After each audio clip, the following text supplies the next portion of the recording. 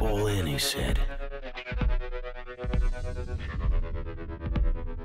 I could sense them in the distance. The rattle of the ball, the snap of the cards, a whisper of romance, a laugh. Some were serious, some were excited. But it was an easy call.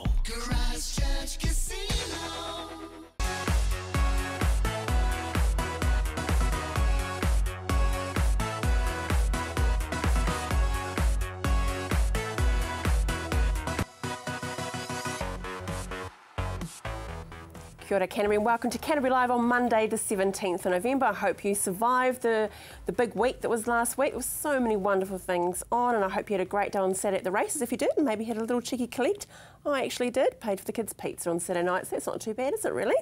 Now, coming up on today's show, we head out to Marian College, a great option for your young ladies potentially for next year, and CDHB Canteen Healthy Options, thanks to Nicola Freya. And Phyllis is back here, Phyllis Brown, talking about Tai Chi. So that'll be interesting. She may do some nice moves and relax us all. But first up, very exciting news gorillas are coming to Orana Park. They are the most beautiful creatures and we're so fortunate that we're actually going to be able to see them up close and personal, maybe not too close, here at Orana Park and I'm joined by Nathan Hawker to tell us all about it. Very exciting times. Very exciting. Lots of smiles around the team at Orana Park. Yeah, most definitely. It's our biggest project ever and they're just cool animals, so very much looking forward to having them here. Quite an ambitious project, though, wasn't yeah, it? Most definitely. It, it's our biggest ever. It's uh, to put it in figures. It's a six million dollar project, and in 37 years, that's how much the zoo's cost to build so far. So it's a huge undertaking, but it's a first for New Zealand. So it's uh, great to be able to have them here in Christchurch. So why was a passion so much there to bring gorillas to Christchurch then? Sure, we actually went through a team planning exercise to rank what our next animal would be and that was all against our mission yeah. and gorillas came out top basically scoring 100% on each measure and so mm. because of that we, we decided to progress. It's a lot of feasibility work to ensure that we could deliver them, but yeah, just the excitement based around those animals is huge, so how could we not? yeah. All animals are, are, very precious, but the gorillas are something special, and I guess need a special home. Most definitely. When they arrive. And we're building one. they're, um, they're a critically endangered animal, so we'll be joining zoo-based breeding programs for them. But yes, we're currently partway through construction of this massive habitat. It's a $6 million project and we still very much need to fundraise for it. We've got around $2 million uh, yeah. in round figures to still raise. So the people of Canterbury can still help us out. Yeah, and so they should. We've got some wonderful um, images now, though, a bit of a taste of. So this is the building of the habitat? Yeah, so this is as at today. This is how it looks so far. So this is the outdoor exhibit for the gorillas at this end, and right down the far end is the outdoor exhibit for orangutans, which will uh, arrive about one year later. How and in the middle is their house. this boy's called Fataki. He's one of the boys that's going to come across to see us. So oh, he's immense. Beautiful. He's stunning, isn't he? He is absolutely gorgeous. He's around 12, and this is his little brother Fuzu. So literally, it's his little brother. Little brother, yes. And there's a third one coming called Mahali. He lives at a different zoo at the moment, but he's also their younger brother. He'll be reintegrated to these two and then come across together with three of them next year. Unbelievable. It's massive, isn't it? Yeah, it's a huge exhibit. Um, this is an artist's impression of how it's going to look. This is looking at the gorilla area. So as you've seen from the photo that we mm. just showed before, there's a little bit of growth to happen, which will happen shortly. We've just seeded grass this week, which is actually a a massive thing. We need to be able to ensure we grow good grass for the animals, yeah. and this is how it'll look inside. because they're animals that need a warm climate, yeah. um, particularly in the Christchurch winter, there'll be indoor viewing rooms for these animals, so visitors will get that close. That is very views. cool. Yeah, very cool. That's amazing. Well, I mean, that's, a, that's very innovative, isn't it? Yeah. Actually, the inside. I think the only time I've seen there's a you know, maybe in Australia where they've got um, the polar bears and things For like sure. that. But mm. that is just stunning. But yes, you do need the money though. That's, That's the right. key, isn't it? It is at the moment. So yeah. people can help via Give a Little. We're obviously listing our project on that website, um, or, or, obviously people can contact us direct. But any and every amount helps hugely towards this project. So when do these beautiful creatures arrive? Sure, well the exhibit timeline is March 2015, so not only is it a massive project to build, but it's got a very ambitious time frame. Mm. In terms of our critical path timeline, it's right on track, so we're doing very well at present. The, the contractors are doing perfectly well, uh, cool. and so the gorillas would arrive soon after that. And we would base the opening based on the animals. So it would depend yep. how well they acclimatise. They're, they're very interesting animals to manage, and it'll Mm. take them a little bit to adjust to their new home. And it will be, and of course Sydney, oh, well, two of them are coming from Sydney, aren't they, That's from right. Taronga Zoo. Yes. Um, the climate's very different though, isn't it? Yeah, it's a lot warmer over there, so hence the indoor indoor viewing room for visitors, but also the indoor playrooms for the animals here to make sure that it's nice and warm and that they're comfortable. God. So in regards to the donations, apart from Give a Little, um, you also want the big, big give a big a little, really, don't you? Of the bigger, bigger donations. That do they just contact you directly at Orana Park? Then, if we're actually interested in potentially doing this for our business. Most definitely, that, that's the easiest way. Get in touch. We love to talk to people. We can take them down and show them the exhibit so far, get them enthused about the project. So if people contact us, that, that's the best way we can start discussions. Why should we support this cause, gorillas? I mean, I think they're the most beautiful creatures, and if you ever watch any documentaries, they are just so intelligent and just entice and draw you in. Hmm. But why do you think, Nathan? Of, of course, as you say, they are impressive animals. They are, we think they're the world's most impressive primates. So, mm. f- firstly, it's a it's a first for New Zealand, so it's a great thing for Christchurch and Canterbury. We think it's not just good for the zoo, but we're adamant that it's going to do great things for Christchurch and help drive people to the region. So, we think after all that Christchurch has been through, that you know this is a really good positive indicator that we're here to stay for the long run. So, Yeah. gives something really interesting for people to come and see.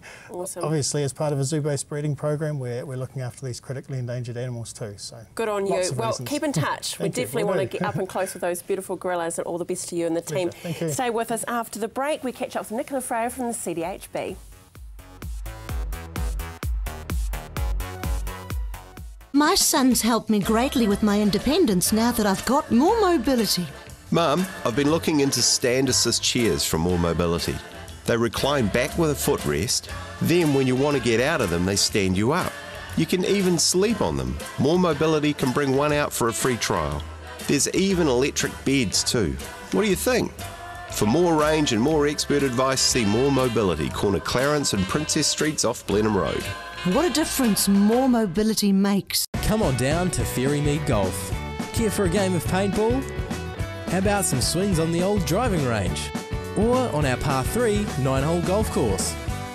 Test your skills on the mini golf course or have a go at the airgun shooting range. Then relax at the Wow Cafe with one of our super succulent Wow Burgers.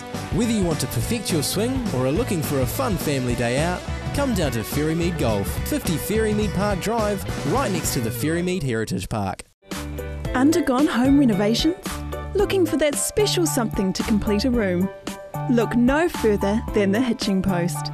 Their extensive range ensures you can find that special something.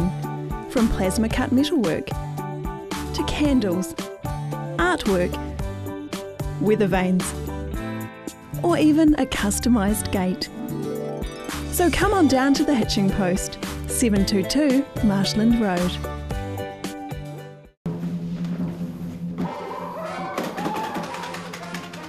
Avoid the monkeys when it comes to relocating. Trust A1 Movers, a family business since 1993 that guarantees a professional job every time. We carefully handle and wrap your valued items, ensuring they have a safe journey. Secure storage and insurance options are also available.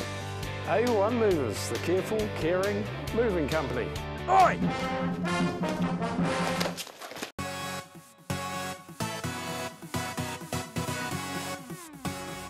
Well, the school canteen is a very important part of any children's world. You know, mum can have some money for the canteen, but uh, CHB are bringing us, thankfully, some healthy options.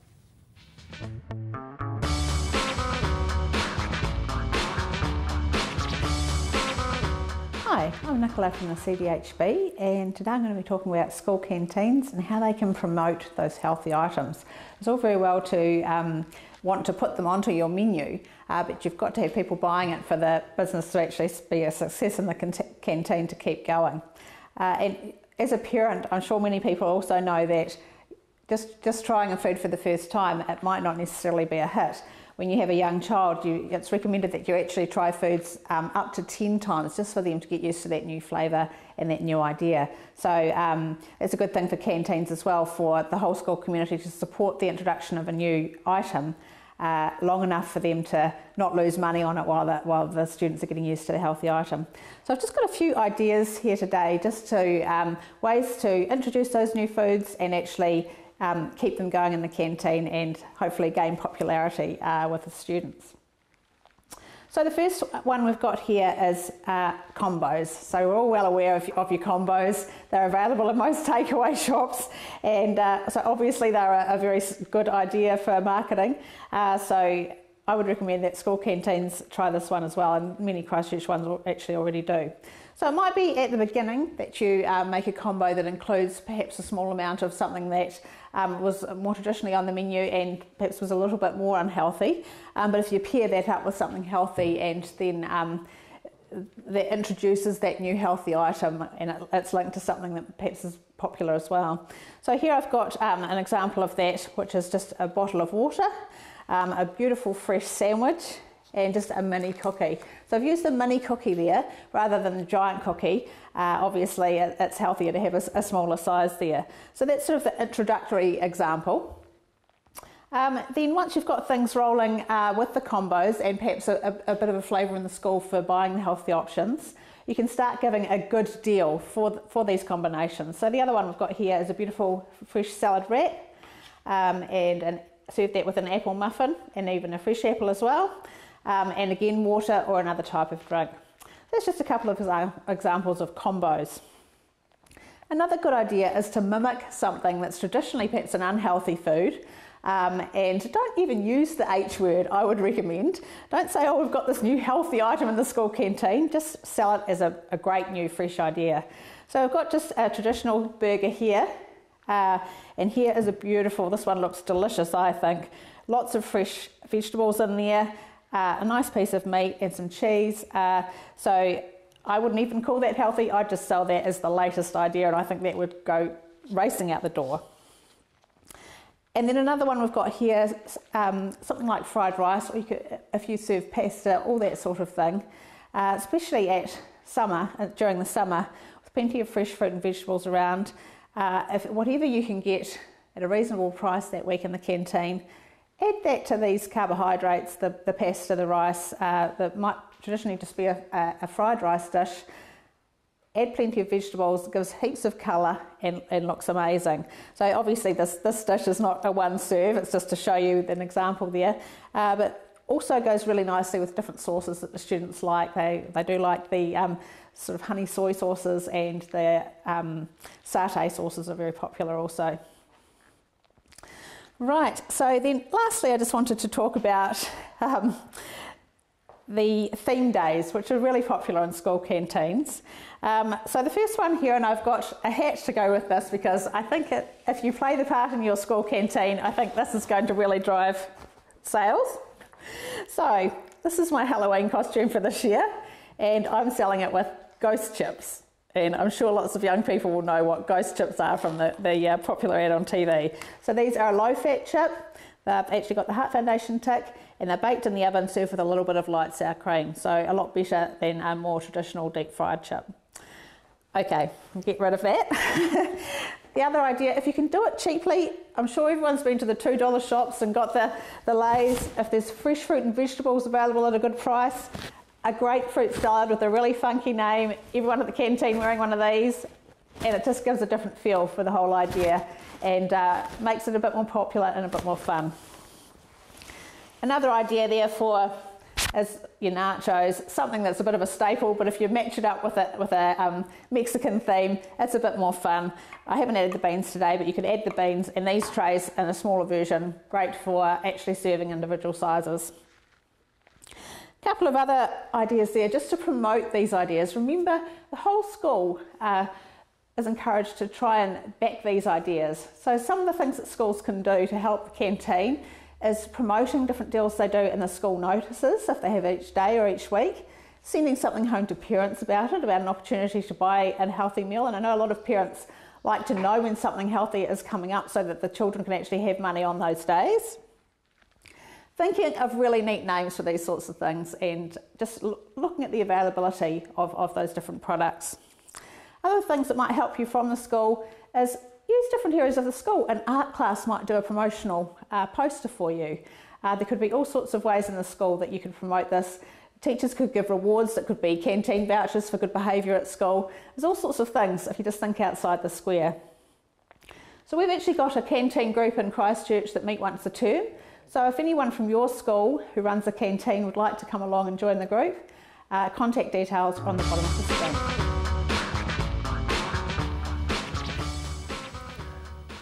Wax on, wax, wax off, off. and Phyllis has now stopped.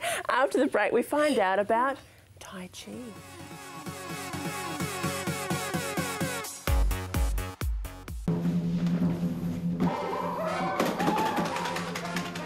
Avoid the monkeys when it comes to relocating. Trust A1 Movers, a family business since 1993 that guarantees a professional job every time. We carefully handle and wrap your valued items, ensuring they have a safe journey. Secure storage and insurance options are also available. A1 Movers, the careful, caring moving company. Oi! My son's helped me greatly with my independence now that I've got more mobility. Mum, I've been looking into stand assist chairs from More Mobility. They recline back with a footrest, then when you want to get out of them, they stand you up. You can even sleep on them. More Mobility can bring one out for a free trial. There's even electric beds too. What do you think?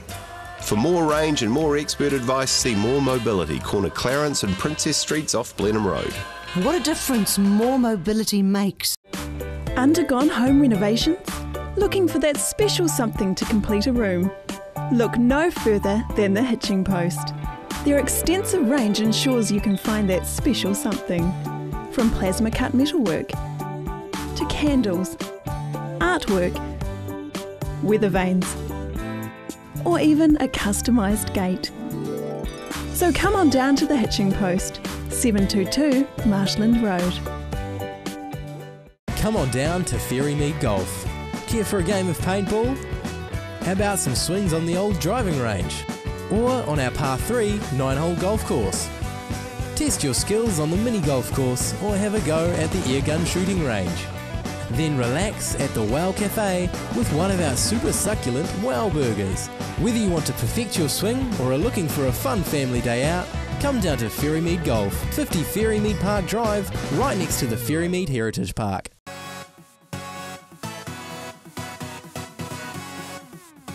What did you like our moves, Phyllis? Yes. No wax on, wax off? No, we're not waxing on, we're not waxing on. We're waving the clouds. Waving Hands the clouds. in the clouds, wiping the table.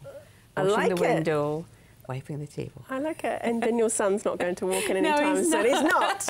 no. Hey, Tai Chi. Yes. And you've been doing it for a year now. It's I pretty have, cool. I have. It was it was a really lovely gift to myself because I, I, I'm so busy and I just thought I need to do something, one that will make me physically fit, but I'm not a gym person. Look at me, I'm not a gym person. No. um, physically like fit, get me out the house, and give me an hour that is just mine. And so I found a local Tai Chi class and off a two-year-old didn't have a clue what I was doing. and of course, with my dyslexic brain and trying to get the two parts working together, it was just hilarious. And it still is hilarious. because it is the development. It's Tai Chi actually means supreme ultimate fist. Fist. Fist. Mm. Yes, and okay. it's it comes from the martial arts. So every movement uh, it can be traced back to a kung fu or you know um, any martial art that's out there. But with Tai Chi, you're bringing it into that really slow, slow, slow motion. So you you know you're you're repeating all these beautiful warrior moves, but in a very slow, very rhythmic, very calm way. And whilst you're doing all that, you're toning up your muscles, you're toning up your breathing, you are going into a meditative space, mm. and you're um, really working your joints. It's quite fluid, isn't it? It's very fluid. Mm.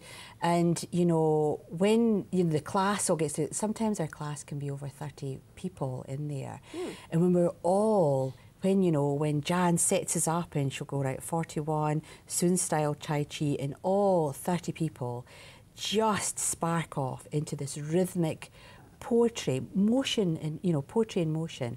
It's just the most beautiful thing to see. It's beautiful. So who benefits from Tai Chi then? Who's, who's it good for? Everyone. Everyone, everyone. You don't need to be uh, supremely uh, athletic or agile as long as you're willing to learn, be really patient with yourself because it's a lot to learn. And in the Sun style, which we do, there's 41 fluid movements in one set. So, you know, that takes a lot to learn, whether it's pushing the tiger, waving your hands, you know, catching the sparrow by the tail, playing the as lute, you as you do. so there's all of these names. It's a bit like um, square dancing. You know, you've got to recognise the names and then recognise the sequence that relate to that name.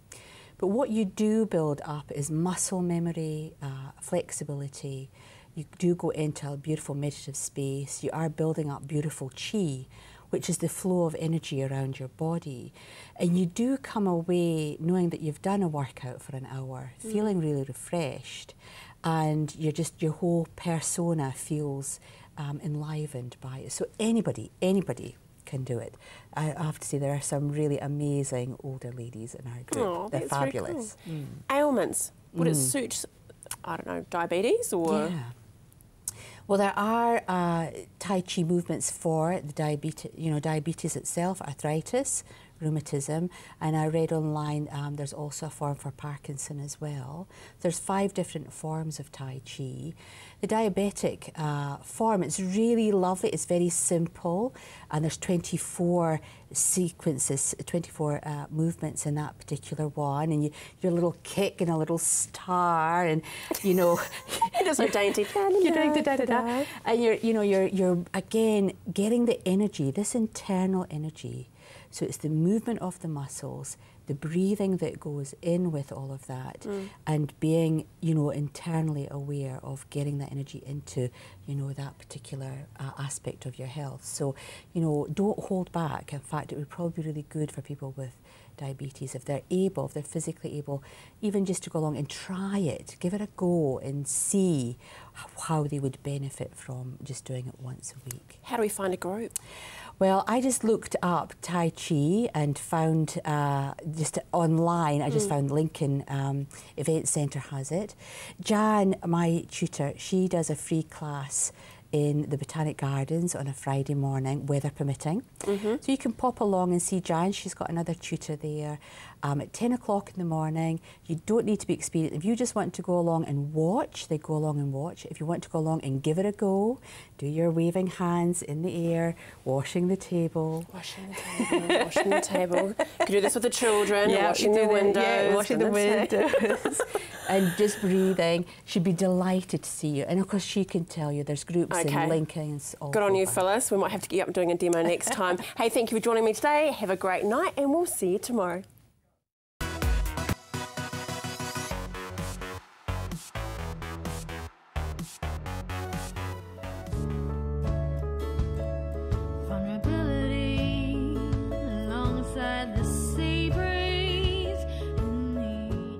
Welcome to Marian. My name is Katie. And my name is Elizabeth. Marian is a Catholic secondary school for girls which combines a strong special character with a high academic standard. We'd love to show you around our amazing school so you can see what it's like to be part of the Marian magic.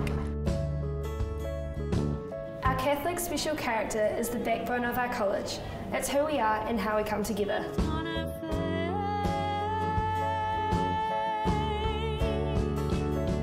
Really important because we celebrate different masses like different feast days and we also have assembly every Tuesday and we have a short prayer time during that. And I think special character sets us apart from other schools. We also look at the values of Catherine McAuley and Mary MacKillop, who were the founders of our school. Tell me about the campus ministry program at Marian. Well, as well as the masses and liturgies that we have at Marian, we also have lots of other fun events as well, like religious retreats and car washes and fundraisers, feast day, and um, recently we did a lemonade stand to um, say thanks to the girls for all their hard work and to brighten up everyone's days. How did you find the transition from your primary school to Marian? The transition to Marian College was exciting for me because I was ready to challenge myself in many ways and develop new friendships. Tell me about peer support. I loved peer support. It really made coming into year 9 less frightening and helped me get to know everyone. It feels like you're in a wee family where they get behind you and encourage you to strive to the best of your learning ability. I like how everyone knows each other and how we like one big family together. When do leadership opportunities start at Marian and what different types are available? Well, at Marian, we're very fortunate to have leadership opportunities available at Year 9, and these include Health Council, Environmental Group, and the Special Character. And these prepare us for Year 12 and 13, where we can join the Student Executive. At Marian, we have some brand new science labs and some pretty cool equipment. How would you describe the teaching and learning at Marian? I think it's really fun because there's lots of practical activities and everyone participates in class. This is Year 9 Digital Technologies. What are some of the different ways that you use technology at Marian? At Marian College, we have full access to wireless internet throughout the day. We're able to access digital technology rooms for learning purposes and project information. In this generation, I think it is important to have that access. It makes learning easier. We're here in a Year 10 Social Studies class.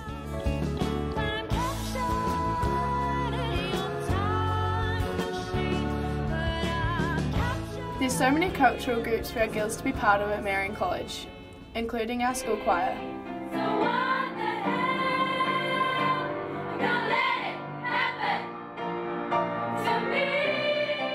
Theatre sports is a big part of Marian. We've seen it in junior teams that meet each week and take part in competitions. Here is one of our fantastic music groups at Marian, the Rock Band.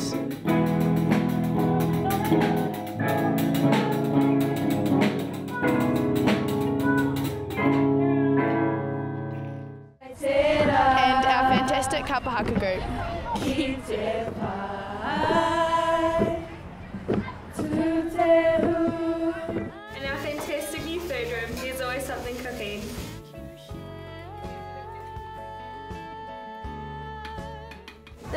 Awesome, inspiring art room.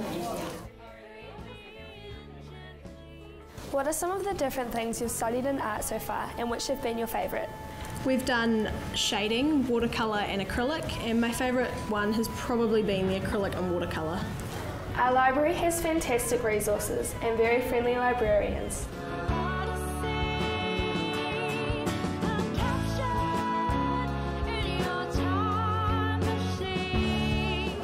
9 Maths class.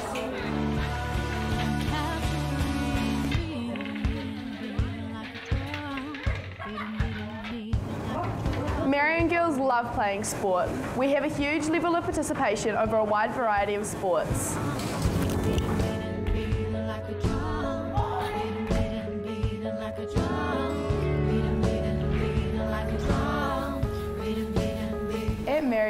Religious studies is taken from year 9 through to year 13. What are some of the interesting things you've done in religious studies? Well, a girl in our class is going to the Philippines for a parish and she's going to go teach dance for the less fortunate. So we've been making cards and bookmarks and posters and stuff so she can give them to them. At Marian, we do service. Why do we do this? Uh, service is one of our Marian values and it's a great way to give back to the community. How would you describe Marian to girls thinking of coming here? Marian is such a warm and friendly school. It's just, it's honestly so great. They're so welcoming when we first arrive. Thanks for watching. We hope we'll see you at Marian soon. Come and be part of our amazing school.